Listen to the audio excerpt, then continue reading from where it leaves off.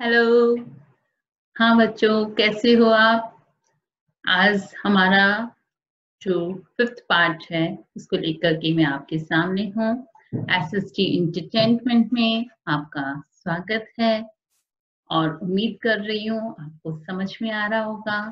फिर से वही बात कहना चाहूँगी टेंशन हमारी है इंटरटेनमेंट आपका है, मेरे साथ बने रहिए। आपको टेंथ में बहुत अच्छे मार्क्स मिलेंगे और बहुत अच्छे से एसएसटी आपको समझ में आएगी, क्योंकि मैं पूरी एनसीईआरटी को ले रही हूँ, आपको अच्छे से एक्सप्लेन कर रही हूँ एग्जाम्पल्स दे रही हूँ, आपको पीडीएफ प्रोवाइड कर रही हूँ ओके नेक्स्ट हमारा जो टॉपिक है land use pattern in India कि इंडिया में जो लैंड रिसोर्स है, उसका क्या पैटर्न है? The use of land is determined both by physical factors such as topography, climate, soil types, as well as human factors such as populations, density, technological capability, and culture and traditions, etc. देखिए जो land है वो कैसे determined हो रही है उसका जो यूज़ है वो कैसे डिटरमाइंड होता है उसके दो फैक्टर्स हैं यहाँ से एक क्वेश्चन आपका बनता है कि जो लैंड का यूज़ है, उसको कैसे डिटरमाइन किया जा सकता है? तो उसके दो फैक्टर्स हैं। एक तो फ़िज़िकल फैक्टर्स और एक आप कहेंगे ह्यूमन फैक्टर्स तो फ़िज़िकल फैक्टर में क्या क्या चीज़ें आ जाएगी? टोपोग्राफी टोपोग्राफी का मतलब हो गया कि आपकी जो लैंड है, उसकी क्या संरचना कैसी है? उतार चढ़ाव वगैरह, ये सब कैसा है उस लैंड का? क्लाइमेट क्लाइमेट मीन्स कैसा वहाँ पे हॉट क्लाइमेट है मॉडरेट है, किस तरह का क्लाइमेट है कोल्ड है, वो भी आपकी जो है लैंड को, उसके यूजेस को डिटरमाइन करेगी। सॉइल टाइप्स कैसे हैं, कि किस तरह की वहाँ सॉइल है। आगे इस चैप्टर में हम सॉइल्स के बारे में भी पढ़ेंगे कि कई तरह की सॉइल्स हैं, जिसके अकॉर्डिंग अलग अलग तरह की क्रॉप्स होती हैं। और जैसे ह्यूमस जिस सॉइल में ज़्यादा होता है तो वहाँ पे ज़्यादा अच्छे से ग्रो होते हैं प्लांट्स वगैरह एलोवेल सॉइल है वो कल्टिवेशन के लिए अच्छी होती है। तो इस तरह से सॉइल टाइप्स जो है, वो भी आपके लैंड के यूजेस को डिटरमाइंड करती है। तो ये तो फ़िज़िकल फैक्टर्स हो गए। अच्छा ह्यूमन फैक्टर्स में क्या आ जाएगा? पॉपुलेशन डेंसिटी वो भी क्योंकि यदि पॉपुलेशन डेंसिटी ज़्यादा है तो लैंड का यूजेस ज़्यादा होगा। टेक्नोलॉजिकल कैपेबिलिटी और कल्चर ट्रेडिशंस क्या है, ये सब जो चीज़ें हैं ये ह्यूमन फैक्टर्स हैं, ये भी आपके लैंड के यूज़र्स को डिटरमाइंड करती हैं। तो आपका ये एक क्वेश्चन यहाँ से बनता है, जिसको मैंने अच्छे से एक्सप्लेन किया है। नेक्स्ट आता है आपका total geographical area of India three point two eight million square kilometre जो हमारा इंडिया का टोटल जोग्राफिकल एरिया है। वो कितना है? 3.28 मिलियन स्क्वायर किलोमीटर है। लैंड यूज़ डाटा लेकिन इस पूरे जो हमारी लैंड है, उसमें कितना यूज़ आता है? Land use data however is available only for 93 percent of the total geographical area देखिए, जो जितना हमारा जोग्राफिकल एरिया है, उसका 93 परसेंट ही हमारे जो लैंड है, वो यूज़ में आ रही है अवेलेबल है यूज़ के लिए। क्यों? Because the land use reporting for most of the north east states except Assam has not been done fully कि कितना लैंड का यूज़ हो रहा है जो हमारे नॉर्थ ईस्ट स्टेट हैं असम को छोड़ के उन्होंने क्या किया है फुल्ली इस डाटा को नहीं रिकॉर्ड किया है moreover some areas of jammu and kashmir occupied by pakistan and china have also not, not been surveyed Pakistan और चाइना ने जो जम्मू और कश्मीर के एरिया को ऑक्यूपाई किया, वो भी सर्वे नहीं किया गया। तो नॉर्थ ईस्ट के स्टेट असम को छोड़ के उन्होंने डाटा को पूरा, पूरी लैंड को सर्वे नहीं कर पाए हैं वो। और पाकिस्तान, चाइना ने जो ऑक्यूपाई किया है जम्मू कश्मीर का एरिया वो भी सर्वे नहीं हुआ है। इसकी वजह से हमारे पास जो, जितना हमारे पास लैंड है, उसमें से हम सिर्फ़ 93 परसेंट जो है लैंड को ही हम क्या कर पा रहे हैं? हमारे पास उसकी डाटा है, उसको हम यूज़ कर पा रहे हैं।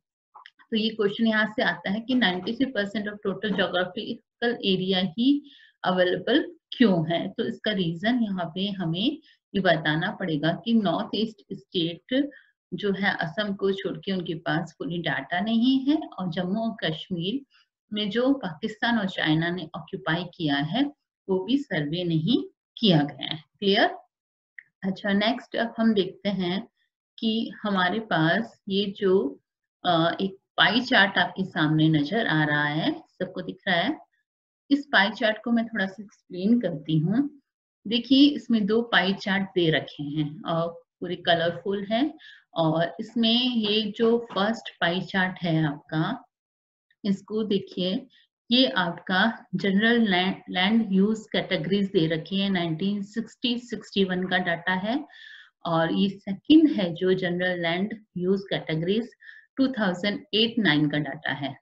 तो इसमें आप देखिए कि जो हमारा फॉरेस्ट है फॉरेस्ट जो है 18.11 परसेंट का एरिया हमारा फॉरेस्ट का था तब के डाटा में 1960-61 में। और 2008-9 में हमारा 22.78 परसेंट फॉरेस्ट का आता है। इट मीन्स पहले से फॉरेस्ट का एरिया थोड़ा सा बड़ा है बट फिर भी हम इसे बहुत अच्छा नहीं कह सकते, क्योंकि 33 परसेंट जो है वो फॉरेस्ट होना चाहिए। तो उसके अकॉर्डिंग तो हम देखें तो बहुत कम है। हालाँकि हमारे जो ये पहले की डाटा अब की डाटा में थोड़ा ये बढ़ा हुआ दिख रहा है। आगे आप देखिए कि जो barren and uncultivable waste land है, वो यहाँ पे 12 परसेंट दे रखी है, जो यहाँ पे 8.61 परसेंट है, यानी पहले से काफ़ी कम हुई है। Area under non agriculture uses में यहाँ पे 4.95 परसेंट है, जो करीब करीब अभी इसमें क्या है, आपके ये बराबर ही नज़र आ रहा है। अच्छा इधर आप ये देखिए, जो permanent pasture and grazing land है, वो यहाँ पे देखिए 3.73 परसेंट है। और यहाँ पे ये आपका जो आ रहा है, ये 4.76 परसेंट है। ठीक है? और area under misc tree crops and groves में ये देखिए, यहाँ का ये जो एरिया है आपका, जहाँ पे ये miscellaneous trees crops and groves है, ये पर्पल में यहाँ दे रखा है आपका, जो कितना है, ये 1.5 परसेंट है। एक चीज़ मैं आपको इसमें बताएँगी कि ये जो आपका नेट शॉन एरिया है नेट शॉन एरिया जो दे रखा है, यहाँ पर आप ये देखिए 45.26 परसेंट है। जो अब नेट शॉन एरिया आ रहा है 46.24 परसेंट यानी कि ये पहले से थोड़ा सा बढ़ा हुआ दिख रहा है, लेकिन बहुत ज़्यादा बढ़ावा नहीं नज़र आ रहा है। इसका कारण क्या है कि देखिए, जो पति भूमि होती है पिछले मैंने आपको वीडियो में भी बताया था कि जो पति भूमि होती है, उस पति भूमि में एक तो हम ऐसी भूमि लेते हैं पति भूमि का मतलब कि जैसे एक साल हमने उसको, जो करंट है, जिसको कहेंगे वर्तमान पति भूमि ये मैंने आपको इस समय यहाँ पे पिछले वीडियो में भी बताया था, इधर एक बार थोड़ा सा मैं बता देती हूँ ये देखिए current flow, current fallow left without cultivation for one or less than one agricultural year. कि यानी वर्तमान भूमि में तो कौन सी भूमि आ जाती हैं, जो करीब एक साल या एक साल से कम इसमें क्या नहीं हुई है, खेती नहीं हुई है। और अदर देन करंट फैलो इसमें क्या होता है कि ये जो भूमि है, इसको यूज़ नहीं किया जा रहा है। ये करीब एक से पाँच साल तक बिना खेती के, ऐसे ही बिना कल्टिवेटेड करे भी छोड़ी गई है। क्यों? हो सकता है इसकी कंडीशन बहुत पुअर हो, उसकी वजह से इसको छोड़ा गया है। तो ये अदर देन करंट यानी वर्तमान प्रति भूमि के अलावा जो भूमि है, वो आ जाती है। तो होता क्या है कि इसे हम नेट शॉन एरियाज़ में हम नहीं लेते हैं। फैलो लैंड्स को हम नेट शॉन एरियाज़ में नहीं लेते हैं। बट कुछ ऐसा किया जाए, जैसे कि मान लो कि सिंचाई के साधनों का विस्तार करके इस तरह से या कुछ अच्छे जो फर्टिलाइजर्स वगैरह का यूज़ करके टेक्नोलॉजी के थ्रू हम क्या करें कि करंट फैलो लैंड और other than current fallow land को यदि हम बढ़ा दें तो क्या होगा कि नेट शॉन एरिया है, वो हम बढ़ा सकते हैं, उसको हम और इंक्रीज कर सकते हैं। हालाँकि हमारा ये जो है, अभी नेट शॉन एरियाज़ इतना ज़्यादा बढ़ा नहीं है, लेकिन हम यदि इनको इंक्लूड करें तो आप ये देख सकते हैं कि ये 46.2 परसेंट हमारा नेट शॉन एरिया था।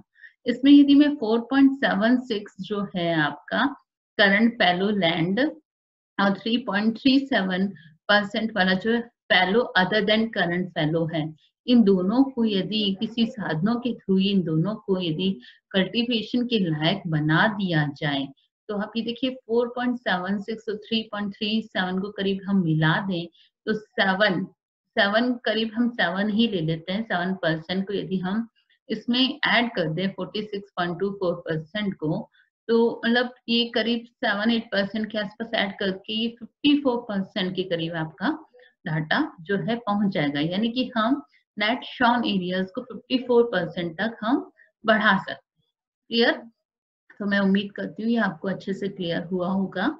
और अब आगे देखिए, इसमें बताया कि the land under permanent pasture has also decrease हमने अच्छे से अभी एक्सप्लेन किया है कि जो लैंड है, जिसमें जो चरागा की भूमि थी परमानेंटली वो पहले से डिक्रीज हुई है। How are we able to feed our huge cattle population on this pasture land? अब हम हमारे लिए समस्या है कि हमारी जो कैटल्स है इनकी भी पॉपुलेशन इतनी ज़्यादा है और इस लिमिटेड पेस्चर लैंड के होते हुए हम इनको कैसे फ़ीड करें? And what are the consequences of it क्योंकि पॉपुलेशन भी बढ़ रही है, साथ में लैंड का यूजेस भी बढ़ा है तो इनके चक्कर में ये जो आपके पर्शियन लैंड है, वो उनमें गिरावट भी आई है। Most of the other than the current fallow lands are either of poor quality or the cost of cultivation of such land is very high. मैंने आपको बताया था कि ये जो करंट फैलो लैंड्स के अलावा जो other than the current fallow lands थी, वो जो लैंड है, क्योंकि उसको करीब एक से पाँच साल तक बिना कल्टीवेशन के ऐसे ही छोड़ा गया था तो उसका रीजन क्या हो सकता है उसका रीजन यही है कि ये तो या तो उसकी पुअर क्वालिटी है या फिर उसकी जो कॉस्ट ऑफ़ कल्टीवेशन है वो बहुत ज़्यादा हाई आती है इसकी वजह से हम उसको कल्टीवेशन के लायक नहीं कर रहे हैं Hence, these lands are cultivated once or twice in about two or three years. And if these are included in the net shown area, then the percentage of NSAs in India comes to about 54% of the total reporting area. Exactly वही बात जो मैंने अभी pie chart से आपको बताई थी कि यदि हम क्या करें? दो या तीन साल के लिए ही यदि हम चाहें, इस जो ये लैंड है, जो कल्टीवेटेड नहीं हो रही है, इसको कल्टीवेशन के लायक बना दिया जाए और उसको नेट शॉन एरियाज़ में इसके परसेंटेज को हम जोड़े तो हमारा एनएसए एनएसए यानी नेट शॉन एरिया जो है, हमारा करीब 54 परसेंट तक बढ़ सकता है। ठीक है? Clear The pattern of net shown areas varies greatly from one state to another. देखिए, जो ये एरिया है ऐसा नहीं है कि 54 परसेंट है, ये हर जो स्टेट है, सब में सेम है, ये वेरी करता है अलग अलग जगह के according it is over 80 percent of the total area in Punjab and Haryana and less than 10 percent in Arunachal Pradesh तो देखिए कि 80 परसेंट के करीब तो पंजाब, हरियाणा, क्योंकि वहाँ अच्छा नेट शॉन एरिया वहाँ पे कल्टीवेशन अच्छा होता है, इसलिए वहाँ पे 80 परसेंट के करीब एनएससी आपको मिल रहा है। जबकि अरुणाचल प्रदेश और मिजोरम, मणिपुर, अंडमान, निकोबार आइलैंड इनमें है, इनमें टेन से भी कम है। तो इस तरह से ये वेरी करता है नेट शॉन एरिया सब जगह एक जैसा नहीं रहता है। Forest area in the country is far lower than the desired 33% of the geographical area as it was outlined in the national forest. तो यही मैंने आपको बात बताई थी कि इस पाई चार्ट के थ्रू भी कि जो हमारा फॉरेस्ट एरिया पहले की तुलना में तो बढ़ा है बट फिर भी इसको हम ज़्यादा नहीं कह सकते। क्यों नहीं कह सकते हैं? क्योंकि 1952 में जो नेशनल फॉरेस्ट जो नेशनल फॉरेस्ट पॉलिसी बनी थी, उसके अकॉर्डिंग करीब कितना होना चाहिए? 33 परसेंट होना चाहिए। तो वन लाइनर क्वेश्चन भी आ जाता है कि नेशनल फॉरेस्ट पॉलिसी 1952 के अकॉर्डिंग कितना फॉरेस्ट एरिया होना चाहिए तो आप लोग क्या बताएँगे कि 33 परसेंट होना चाहिए। It was considered essential for maintenance of the ecological balance और ये इकोलॉजिकल बैलेंस को मेंटेन करने के लिए भी बहुत ही ज़्यादा ज़रूरी है। The livelihood of the millions of people who live on the offerings of these forest depend upon इन बहुत से ऐसे लोग हैं जो जिनका रोजगार और सब कुछ उनका जीवन यापन जो है वो इसी फॉरेस्ट पे डिपेंड करता है a part of the land is term as waste land and land put to the other non agriculture uses wasteland include rocky arid and desert area and uh, land put to other non agriculture uses include settlements road railways industries etcetera तो देखिए waste land में भी क्या क्या आ जाता है? Rocky या ride and desert area और ऐसी करके जो लैंड है, जो यूज़ में नहीं आ रही है नॉन एग्रीकल्चर यूजेस है जिसका वो सभी इसमें वेस्ट लैंड में आ जाती है। इसके अलावा रोड्स रेलवे इंडस्ट्रीज़ में जो लैंड आ गई है, वो भी आपकी क्या है? ये सब आपके इसमें आ जाएगी वेस्ट लैंड में ये सब आ जाएगा, क्योंकि ये आपकी एग्रीकल्चर में यूज़ नहीं हो रहा है। Continuous use of land over a long period of time without taking appropriate measures to conserve and manage it लगातार किसी लैंड का बहुत ज़्यादा लगातार यूज़ होगा। ये कहा ही जाता है ना अति सर्वत्र वर्जित है। बोलते हैं ना तो लगातार हम किसी लैंड का या किसी भी चीज़ का लगातार यूज़ करेंगे तो उसका नुकसान कुछ ना कुछ होगा तो लैंड का कंटिन्यूस यूज़ होगा। लंबे समय तक without taking appropriate measures to conserve उसको बचाने के लिए अप्रोप्रिएट मेजर्स नहीं यदि हम अपनाएँगे, उसको मैनेज नहीं करेंगे तो क्या होगा? उसका रिज़ल्ट क्या निकलेगा? उसका रिज़ल्ट लैंड डिग्रेडेशन निकलेगा, यानी कि जो आपकी लैंड है, उसकी क्वालिटी उसकी डाउन हो जाएगी, उसमें उतना नहीं, उसकी यूटिलिटी नहीं रहेगी जितनी पहले थी।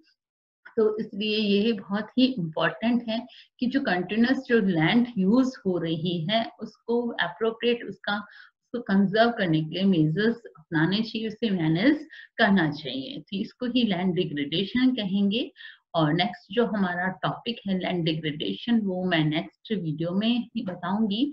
लेकिन उससे पहले अभी तक जो हमने पढ़ा उसको थोड़ा सा रिवाइज मैं अपने नोट्स के थ्रू और पिछले वीडियो में भी मैंने जो बताया था उसको भी मैं इसी नोट में थोड़ा शामिल कर रही हूँ। आपके सामने आ, मैं अपने जो नोट्स है वो दिखा रही हूँ। लेट्स हाँ जी तो देखिए लैंड रिसोर्स जो हमारा रिसोर्स था, बहुत ही इंपॉर्टेंट रिसोर्स है लैंड रिसोर्सेस लैंड क्या होती है? वी लिव ऑन लैंड सबको पता है we live on land we perform our economic activities on land and we use it in different ways हम लैंड पे रहते हैं और जो भी इकोनॉमिक एक्टिविटीज़ है हम लैंड पर ही परफॉर्म कर रहे हैं और इसको हम डिफरेंट वेज से यूज़ कर रहे हैं। ये मैंने पिछले वीडियो में भी आपको ये बात बताई थी। India has land under a variety of relief features, namely mountains, plateaus, plains and islands. India जो है उसके पास काफ़ी रिलीफ फीचर्स हैं जैसे कि mountains and plateaus plains and islands वगैरह हैं ग्रॉस क्रॉप्ड एरिया क्या होता है ऐसा area area sown more than once in an agricultural year plus net sown area वो आपका क्या होगा? ग्रॉस क्रॉप एरिया यानी कि ऐसा एरिया जो आपका है ए, एक जो एग्रीकल्चर ईयर है या उससे कम एरिया में जो बोया गया है उसके साथ में नेट शॉन एरियाज़ मिला दिया जाता है वो आपका क्या हो गया? क्रॉस क्रॉप्ड एरिया हो गया है। हमने पिछले वीडियो में जो आपको बताया था, वो थोड़ा सा उसका ये जो है आपका पाई चार्ट वो मैं यहाँ पे दिखा रही हूँ कि हमारे यहाँ 43 परसेंट प्लेन्स हैं और 30 परसेंट आपका माउंटेन्स हैं 27 परसेंट आपका क्या है प्लेट्यू है, ठीक है? अच्छा नेक्स्ट आता है land uses pattern in India land का जो यूज़ है इंडिया में इसका क्या पैटर्न है? तो उसके दो फैक्टर्स हैं जो मैंने आपको एक्सप्लेन किए थे फ़िज़िकल फैक्टर्स और ह्यूमन फैक्टर्स तो जो फ़िज़िकल फैक्टर्स हैं, उसका दे रखा है टोपोग्राफी उसमें रंग टॉपोग्राफी आ जाता है स्टीप स्लॉप्स आ जाते हैं रॉकी टेरेन और नॉट फिट फॉर कल्टीवेशन ये सब जो हैं, ये जो चीज़ें हैं, ये सब कल्टीवेशन के लिए फिट नहीं है। तो ऐसी लैंड क्या है? यूज़ नहीं आ सकती है। क्लाइमेट भी एक बहुत बड़ा फैक्टर है। ऐसे region region having extreme hot और cold climate are not suitable for growing crops जहाँ पे बहुत ज़्यादा गर्म है, जैसे कि आपका रेगिस्तानी इलाका है, जहाँ टेम्परेचर बहुत हाई होता है, और जैसे लद्दाख वगैरह, जहाँ बहुत ही कोल्ड क्लाइमेट है लद्दाख वगैरह में, वहाँ पे आपके क्रॉप्स वगैरह होना बहुत ही मुश्किल हो जाता है। सॉइल्स टाइप जो है वो भी आपकी बहुत इम्पोर्टेंट है कि वो लैंड को कैसे यूज़ किया जाए. Soil rich in humus are good for growing crops crops को ग्रो करने में जो ह्यूमस से ह्यूमस जिस सॉइल में होती है, वो अच्छी रहती है. Alluvial soil are most suitable for cultivation और जो एलिवियल सॉइल है वो कल्टीवेशन के लिए बहुत सही होती है. ह्यूमन फैक्टर्स ह्यूमन फैक्टर्स में क्या क्या आ जाता है? पॉपुलेशन डेंसिटी जहाँ ज़्यादा होगी. पॉपुलेशन डेंसिटी वगैरह है, वो वहाँ पे लैंड का यूजेस ज़्यादा हो जाएगा और कल्टीवेशन में लैंड कम रह जाएगी। Technological capability culture and tradition वगैरह, ये ह्यूमन फैक्टर्स जो है, ये भी आपके सॉइल यूजेस को इम्पैक्ट करते हैं। और इसी तरह से मैंने आपको अच्छे से एक्सप्लेन करा था कि जो लैंड है, उसका कंटिन्यूस यदि यूज़ होता जाएगा, उसको मेंटेन नहीं रखा जाएगा, उसके कंजर्व करने के लिए जो तरीके हैं उनको फॉलो नहीं किया जाएगा तो क्या होगा? लैंड का डिग्रेडेशन होगा, जो मैं नेक्स्ट आपको वीडियो में दिखाऊँगी और समझाऊँगी।